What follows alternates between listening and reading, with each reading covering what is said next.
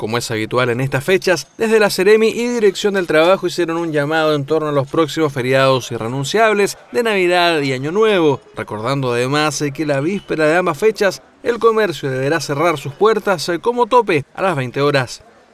Y nosotros queremos reforzar, ¿cierto? Eh, e indicar que el comercio, más allá, ¿cierto?, de todas las medidas sanitarias y restricciones sanitarias, no deben funcionar y no deben funcionar desde el 24 a las 20 horas hasta las 6 de la mañana del día 26 en el caso del feriado irrenunciable para de Navidad y en el caso del feriado irrenunciable del 1 de enero o Año Nuevo, de igual forma de las 20 horas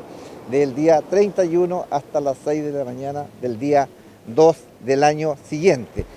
Un feriado irrenunciable para los trabajadores que tiene multas asociadas para los empleadores de no ser respetado destacando en esta ocasión el comportamiento ejemplar registrado durante el año pasado. Dado los años anteriores, el, recién el, año pasado tuvimos un 100% de buen cumplimiento, es decir, no tuvimos ni sanciones, no hubo multas, ni tampoco hubo denuncias. Esperamos el mismo comportamiento para este año.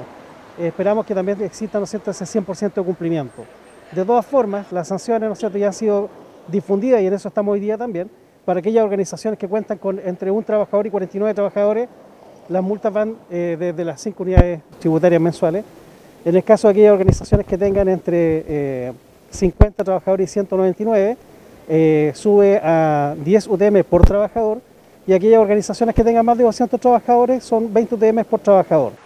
Pero como en toda norma existen excepciones, las cuales fueron detalladas por la autoridad del trabajo en la región.